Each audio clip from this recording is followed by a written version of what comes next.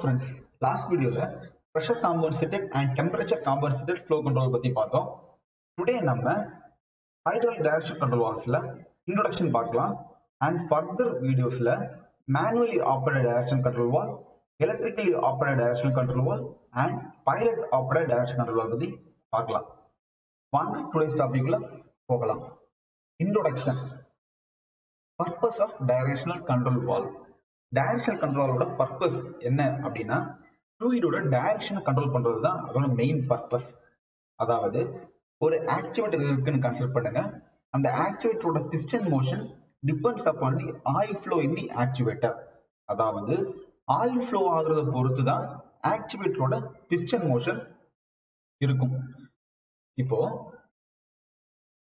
இந்த activator simple பாருங்க. இந்த ஆக்டிவேட்டர் சிம்பிள்ல நம்ம டூ லைன்ஸ் கனெக்ட் பண்ணிருக்கோம். இது கேப் அண்ட் சைடு ஃபர்ஸ்ட் இது ஏ போர்ட் அண்ட் இது B B port B side okay A port A சைடுனா அது cap end side cap end side and பினா அது ராட் அண்ட் சைடு ஓகே இப்போ இந்த cap end side oil flow ஆச்சு அப்படின்னா இந்த piston forward move ஆகும் and இந்த rod end side oil flow ஆச்சு அப்படின்னா இந்த பிஸ்டன் ரிவர்ஸ் மூவ் ஆகும். இப்படி oil A and B port move ஆகுறது மூலமா cylinder forward and reverse motion நடக்கும். இந்த ஆயில் ஃப்ளோ ஆகிற பாத்தை இந்த டைரக்ஷன் கண்ட்ரோல் வால் தான் கண்ட்ரோல் பண்ணுது. இப்படி கண்ட்ரோல் பண்றதுனால தான் நம்ம இதை டைரக்ஷனல் கண்ட்ரோல் வால் அப்படி சொல்றோம். ஒரு டைரக்ஷனல் கண்ட்ரோல் வால்வை செலக்ட் பண்றதுக்கு முன்னாடி நம்ம அந்த டைரக்ஷனல் கண்ட்ரோல் வால்வ்ல என்ன பர்பஸுக்காக செலக்ட் பண்றோம் அப்படிங்கிற கான்செப்ட் கண்டிப்பா தெரிஞ்சிருக்கணும். அப்படி தெரிஞ்சிருந்தா தான் டைரக்ஷன் கண்ட்ரோல் வால்வை கரெக்டா செலக்ட் பண்ண முடியும்.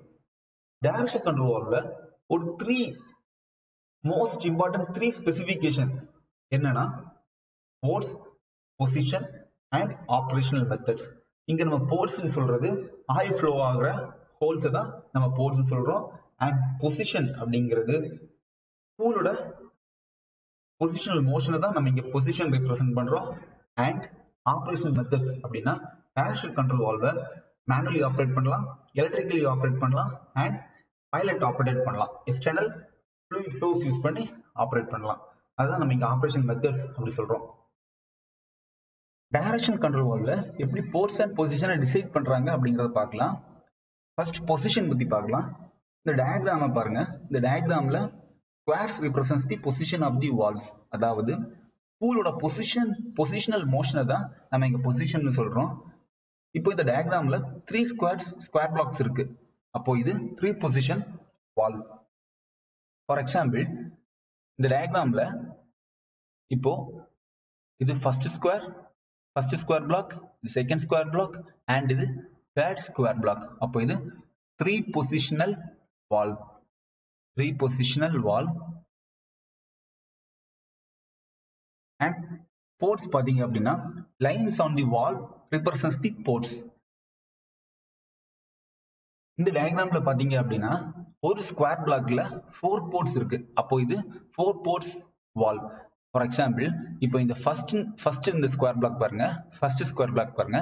இதுல இது பி போர்ட் இது ஏ போர்ட் அண்ட் இது T port T போர்ட்னா tank to reservoir port and இது B போர்ட் ஃபோர் போர்ட்ஸ் இருக்கு. First port second port third port and fourth port அப்போ இது four ports valve.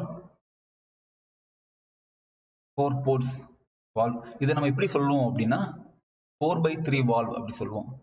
Four ports and three position valve அதான் four by three valve அப்படி சொல்லுவோம். What is neutral position neutral பொசிஷன்னா என்ன? Valve operation கண்டிஷன்ல இல்லாம இருக்கும்போது அதாவது ரெஸ்ட் கண்டிஷன்ல இருக்கும்போது த்ரீ பொசிஷனல் வால்வ்ல பாத்தீங்க அப்படின்னா சென்டர் பொசிஷன் நம்ம நியூட்ரல் பொசிஷன் அப்படி சொல்றோம். இந்த நியூட்ரல் பொசிஷன்ல ஒரு ஃபோர் இம்பார்ட்டன்ட் சென்டர் பொசிஷன் இருக்கு. அது என்னன்னா open center close center tandem center and float center இப்போ ஓப்பன் சென்டர் பத்தி நம்ம டிஸ்கஸ் பண்ணலாம்.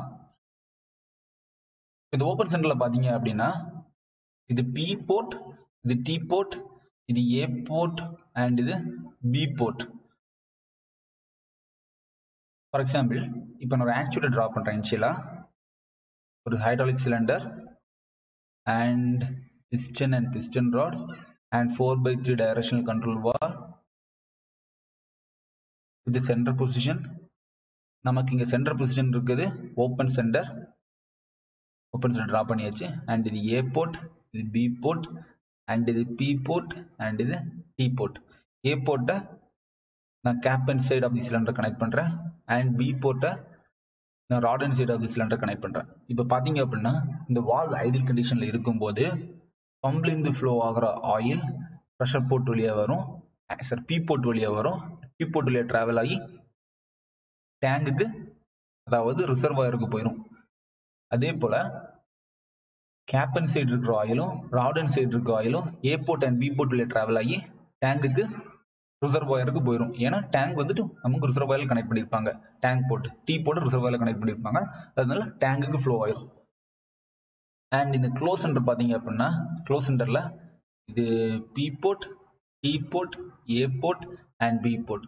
For example இப்போ நான் ஆக்சுவேட்டர் இன்சுலேட்டர் பண்ணுறேன் ஒரு hydraulic cylinder and with piston and piston rod ஒரு four by three directional control valve and with three position four directional control valve uh, and with center position closed center. All ports are closed. அதாவது A port B port P port T port எல்லாமே closed A B P T A வந்து நான் cap end side connect பண்ணுறேன் and B A வந்து நான் வந்து rod end side connect பண்ணுறேன் and பம்ப்லேருந்து ஃப்ளோ ஆகிற ஆயில் பி போர்ட்டுக்கு வரும். பட் பீப்புள் க்ளோஸ் கண்டிஷனில் இருக்காங்கன்னா இதுக்கு மேலே ஆயில் ஃப்ளோ ஆகாது. அண்ட் ஏ போர்ட்லேருந்து வர ஆயில் அதாவது கேப்பன் சைட்லேருந்து வர ஆயில் அண்ட் ராடன் சைட்லேருந்து வர ஆயில் ரெண்டு ஆயிலுமே சீல்டு கண்டிஷனில் இருக்கும். Because A port and B port is in close condition டேங்குக்கு oil flow ஆகாது. இப்போ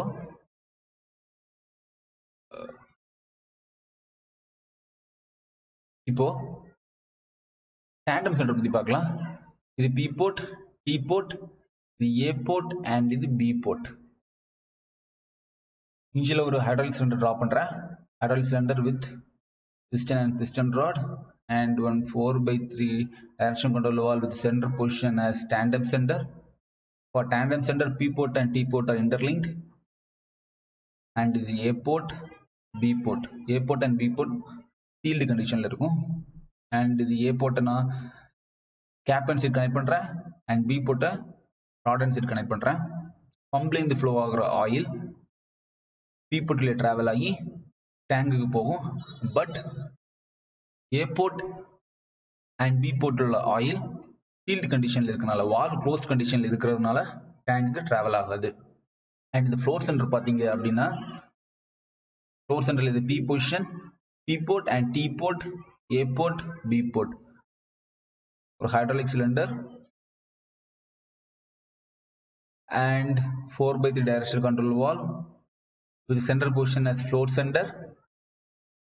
Here A port and B port is connected to tank, E port, but P port is closed condition. A port நான் cap and side connect பண்றேன் and B port rod and side connect பண்றேன் பம்ப்ல இருந்து flow ஆகிற oil P போர்ட்டோட travel ஆகும். But P port close condition இருக்கனால அதுக்கு மேலே அது ஆயிலில் ட்ராவல் ஆக முடியாது. But A port oil and B port oil டேங்குக்கு travel ஆகும். இப்போ open center maximum fixed displacement pump தான் யூஸ் பண்ணியிருப்பாங்க float center maximum pilot operated வால்வா use பண்ணுவாங்க. இந்த வால்வ் பேஸ் வால்வை வச்சு வேற ஒரு ரெண்டு பைலட் ஆப்ரேட்டட் வால்வை நம்மளால ஆப்ரேட் பண்ண முடியும். And tandem center fixed displacement பம்ப்ல யூஸ் பண்ணிப்போம். ஓகே ஃப்ரெண்ட்ஸ் இந்த வீடியோ உங்களுக்கு புரிஞ்சிருக்கும்னு நினைக்கிறேன். மறக்காம நம்மளோட மெக்கானிக்கல் ஸ்காலர் சேனலை சப்ஸ்கிரைப் பண்ணுங்க. வீடியோஸை லைக் பண்ணுங்க. நெக்ஸ்ட் வீடியோவில் மீட் பண்ணலாம். Have wonderful day thank you